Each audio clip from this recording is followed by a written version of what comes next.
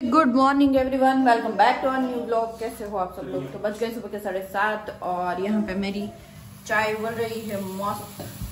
चली भी जाएगी अभी बाहर। तो बाहर देखते हैं तो अभी साढ़े सात बजे और बहुत अच्छी धूप निकल के बजे है साढ़े सात और बहुत अच्छी वाली धूप निकल के आ गई है। गुड मॉर्निंग ज्ञान गुड मॉर्निंग करो गुड मॉर्निंग जय स्वामीनारायण करो। नहीं करूँ? करूँ છે કરું છે? કરો તો. એ શું હતું? સર અમને પૂછલું છે કે same to same good morning good morning same to sir મારી જોડે વાત કરે છે. તો કોની જેમ હોય? આવા દે હું કઈ શરમાવું છું. કોઈને પૂછી તો હું શરમાતો હોય તો. એ તો હવે અવાજ ખુલ્લો છે. પેલા પેલા હું કે બોલતો નતો મૂંગો બધા એવું કે છે કે ચિરાગભાઈ પેલા વીડિયો બોલતા નતા. મમ્મીને પૂછતું મમ્મી આરે તમે બાંધી લ્યો હમણાં કહું એટલું બાંધી લ્યો કાકાનું બાર વાત થાય છે બાર પેલા તમે વિડીયોમાં આવતા શર્માતા લોકોએ તમને જોયેલા છે मेरे को तो ऐसा नहीं लगा किस कोई किस नहीं। को लगा चिराग था वैसे बता कुछ देना। भी नहीं मानेंगे आप अ, छोड़ ही दो वो अपनी सच्चाई कभी नहीं मानते क्योंकि मैं उसके साथ पाँच साल से रह रही हूँ वो कभी भी एक्सेप्ट नहीं करते हैं जो उसकी सच्चाई होती है कोई नहीं चलो मेरी चाय मैं रख के आई थी हाँ। गैस बंद कर या किया था हाँ, शायद।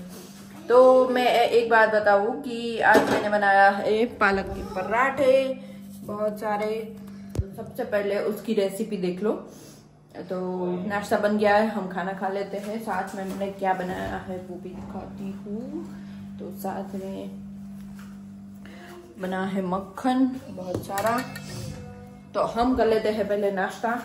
वापस मेरी वरना चाय चली जाएगी।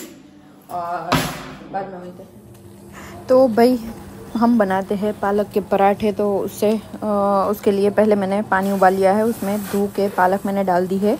ये यहाँ पे मैंने ली है 250 ग्राम पालक। तो पालक को है ना धीरे धीरे पानी में डुबो देंगे और इसको है ना ब्लांच करना बोलते हैं। तो अ, पहले पालक को अ, कभी भी आप पराठे बना रहे हो तो पालक को ज़रूर उबाल ले क्योंकि ये करना ज़रूरी है इसमें कोई भी कीटाणु वगैरह रहेगा तो वो निकल जाएगा। तो पालक को पहले पानी में बॉईल ज़रूर ही कर ले। तो चम्मच से मैंने अंदर डुबो दिया है और पालक को हम वैसे ज़्यादा बॉईल नहीं करेंगे। अ, कम से कम एक मिनट से भी कम टाइम में इसको बॉईल करने देंगे वो भी फुल फ्लेम पे। तो इसको मैंने अच्छे से कम फ्लेम, कम टाइम में बॉईल किया है। कम फ्लेम पे तो नहीं फुल फ्लेम पे तो ये बॉईल होते ही हमें क्या करना है कि गैस बंद कर देना है। तो पहले तो हम कर देंगे गैस को ऑफ़ और उसके बाद पालक निकाल लेंगे सारी छन्नी में। तो छन्नी में सारी पालक निकाल के आप वैसे बर्फ़ वाले ठंडे पानी में भी डाल सकते हो और इसके ऊपर पानी भी डाल सकते हो। वो आपके ऊपर है कि आपको क्या करना है। तो पहले मैंने सारा पालक छन्नी में ले लिया है। देखो, नीचे फिर भी कचरा कितना निकला। मैंने बहुत अच्छे से वॉश करी थी, फिर भी इसमें कचरा थोड़ा तो निकलता ही है। मतलब मिट्टी वगैरह होता है तो इसके ऊपर मैं डाल रही हूँ ठंडा पानी। तो आप पानी के अंदर भी डाल सकते हो और इसके ऊपर भी पानी डाल सकते हो, कोई भी। और इसको अभी नहीं तलने देते हैं। और साइड में अभी मैं तब तक बना लूँगी वाइट मक्खन। तो इसमें वैसे ज़्यादा कुछ करना नहीं है। हमारे पास जो सारी मलाई इकट्ठा हुई होती है, उसमें छाछ डाल के रात को रख देना है और सुबह इस तरीके से ब्लेंडर चला लेना है। तो कुछ ही मिनट में मतलब एक से दो मिनट में आपका मक्खन रेडी हो जाएगा। इसमें कोई देर नहीं लगती है। फटाफट ही वाइट मक्खन आपका रेडी हो जाएगा। देखिए मेरा मक्खन हो गया है रेडी बंद कर दूँगी ब्लेंडर और सारा मक्खन मैं। बाहर निकाल लूँगी। तो मक्खन तो हो गया रेडी अभी बनाते हैं पालक की प्यूरी। तो ये हमने जो ठंडा किया था पालक, उसको हम डाल देंगे मिक्सी जार में। तो पानी थोड़ा सा अगर रह जाता है तो चलेगा, उतना तो पर ज़्यादा नहीं रहना चाहिए। तो ये पालक को मैंने डाल दिया है मिक्सी जार में, उसमें डालूँगी मैं अदरक के टुकड़े दो, फिर जाएगी मिर्ची दो। अगर आपको तीखा पसंद है तो आप ज़्यादा डाल सकते हो कियान की वजह से मैंने कम डाली थी, और लहसुन की कलियाँ। बस इतना डाल के मिक्सर जार बंद करके हमें मिक्सी चला लेनी है और पेस्ट बना लेनी है। तो ये मैं आ, पेस्ट बना के आ, डाल दूँगी बाउल में। तो पहले हम पेस्ट डालेंगे आटा नहीं डालेंगे पेस्ट के हिसाब से आटा डालेंगे। तो इसके ऊपर हम डाल देते हैं तिल। अगर तिल आपको वाइट तिल पसंद नहीं है तो बिल्कुल ही स्किप कर सकते हो पर मुझे बहुत ज़्यादा पसंद है, इसलिए मैं थोड़ा एक्स्ट्रा ही डाल रही हूँ। और इसके ऊपर जाएगी अजवाइन, जो हम थोड़ा क्रश करके डालेंगे हाथ से, दोनों हाथ से। तो ये ले ली मैंने अजवाइन और दोनों हाथ से ऐसे क्रश करके फिर हम डालेंगे इसके अंदर। अभी क्या करेंगे कि अभी हम इसके ऊपर आटा डालेंगे। पहले आटा नहीं डालना है, अभी इसके ऊपर मैं एक बाउल जितना आटा डाल रही हूँ और साथ ही साथ में हम इसके ऊपर डाल देंगे स्वाद के अनुसार नमक। यहाँ पे मेरी चम्मच बहुत छोटी है तो मैंने एक से ऊपर थोड़ा डाला है। हाँ तो और इसके बाद डालेंगे ऑयल अगर ऑयल मैं ये पहली बार ऑयल डाल रही हूँ, वरना तो मैं, है ना, दूध की जो मलाई होती है, वो ही डाल रही हूँ हमेशा। मैं ऑयल कभी भी नहीं डालती, पर आज क्या हुआ कि मलाई ख़त्म हो गई थी। जैसे कि आपने देखा कि मैंने मक्खन बना दिया था तो तभी मैंने ऑयल डाला है, आप घी भी डाल सकते हो। तो पहले सारे आटे को हम कर लेंगे अच्छे से मिक्स और पानी नहीं डालेंगे, पानी सिर्फ़ साइड में रखेंगे पहले तो मिक्स करेंगे हाथों से ही, क्योंकि इसमें पानी डालने की कोई ज़रूरत नहीं पड़ेगी। पानी सिर्फ़ मैंने ऐसे ही रखा है बाजू में, क्योंकि अगर ज़रूरत पड़ेगी तो गंदे हाथ से हमें फिर पानी भरने ना जाना पड़े। तो आटा हो गया है अच्छे से मिक्स और मैंने कोई भी, पानी की एक बूंद भी यूज़ नहीं की है। तो इसमें से आप आराम से दो लोगों के लिए पराठा बना सकते हो ढाई सौ ग्राम पालक और एक बाउल आटा, गेहूँ का आटा, रोटी वाला ही लिया है मैंने।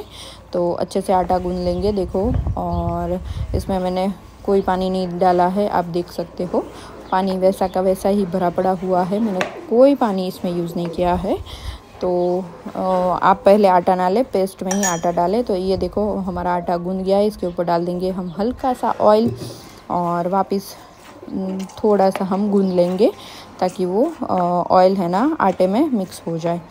तो ये आटा हमारा एकदम ही रेडी हो गया है, एकदम सॉफ्ट नरम रोटी जैसा आटा है। पर आप ये आटा गूंदोगे ना तो और इसमें एक बात बताओ कि आप मलाई डालोगे ना तो क्या सॉफ्टनेस आएगी पराठे में? बात ही मत पूछो, आप, है ना ऑयल मत डालना, मलाई ही डालना। तो अभी हम बेल लेते हैं पराठा। तो पहले तो मैंने लुआ ले लिया है राउंड राउंड शेप के। और इसको डुबोंगी मैं आटे में। आटे के अंदर अच्छे से डुबो लिया। आटा इसके ऊपर आ गया। अभी मैं इसको बेल लूँगी राउंड शेप में। तो फटाफट अभी बेलना शुरू हो गया है मेरा। तो कुछ इस तरीके से मैं जैसे हम रोटी बेलते हैं वैसे ही हम बेल सकते हैं। कोई लोग क्या करते हैं कि पराठे का आटा है ना आ, मोटा रखते हैं। तो मैंने यहाँ पे रोटी जैसे ही रखा है। तो क्या है कि रोटी की तरह वो बेल जाएगा पराठा, वरना तो क्या आप कड़क आटा रखोगे? तो आप कोई भी शेप का, कोई ट्राइंगल शेप का बनाता है, कोई राउंड शेप का बनाता है। तो मैंने यहाँ पे राउंड शेप का पराठा कर दिया है रेडी तो इस तरीके से ही सारे पराठे हमें बेल लेने हैं, बाद में सेक लेने हैं। सेकना तो सबको आता है कि कैसे पराठे सीखे जाते हैं। तो वो वाला पार्ट मैंने यहाँ पे नहीं दिखाया, सिर्फ़ ये देख लो कि मैंने बेला कैसा है एकदम राउंड शेप हो गया है और रोटी जैसा ही मैंने पतला बनाया है। अगर आप मोटा बनाना चाहते हो तो बना सकते हो। तो मैंने सारे पराठे यहाँ पे रेडी कर दिए हैं। थप्पा लगा दिया है। आज है जंगल सफारी डे तो कियान बना है। रैबिट बन रहा है। पॉइंट पॉइंट पॉइंट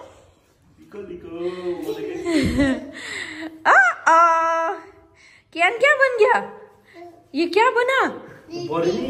કાનો સિંગડા છે? જો એના ઉપર. જો કાન છે. જો. બતાવ ફોટો પાડો પેલા મને આમ. એ નહીં પહેરું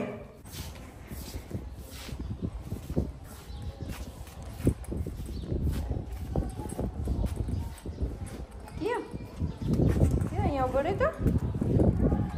એ બેબી.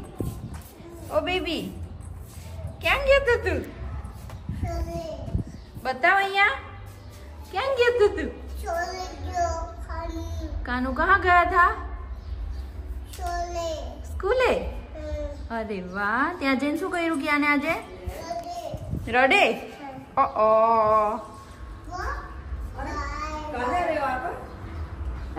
एक बज गए और कियान को अभी क्या खाना है क्या है वो कमला गमला उसको ममरा बोलते हैं बमला क्या बोलते हैं बमला नहीं ममरा और ये चप्पल यहाँ पे कौन लेके आया डैडी का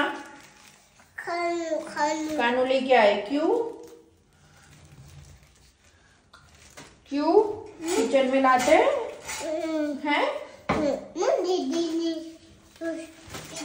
હાથમાં ના લેવાય પગમાં પહેલે પગમાં પહેલે પગમાં પહેરીને મૂકતો આવી જા ઊંધા છે બેટા ઊંધા છે ઊંધા છે ને સીધા પહેરી લો હા, બસ गुड बॉय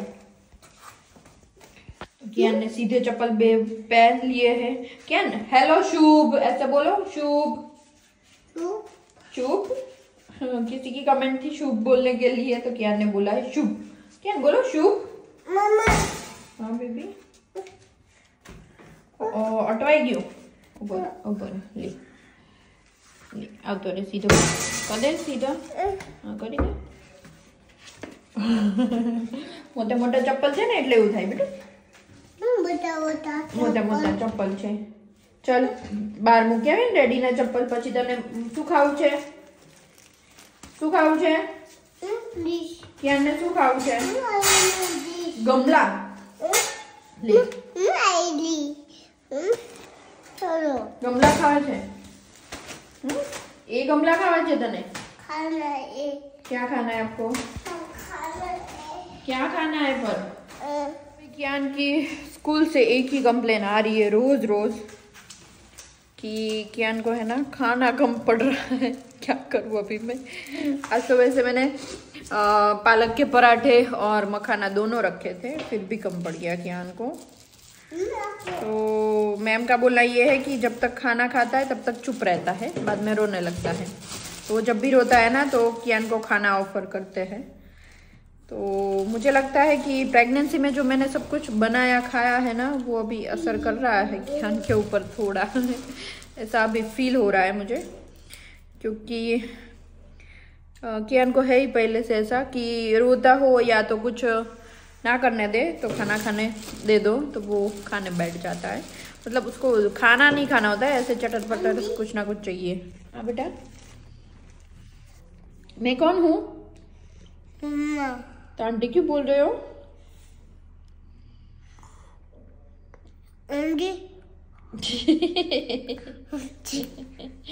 आज आपने क्या किया स्कूल में?